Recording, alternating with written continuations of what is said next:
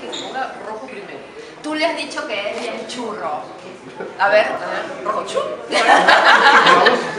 ¿no tiene churro? ¿Cómo que le dicen para comer y para, para llevar y para comer? Para llevar y para comer. para llevar. El contenido es Erótico. Bueno, tiene, nuestra política tiene mucho de.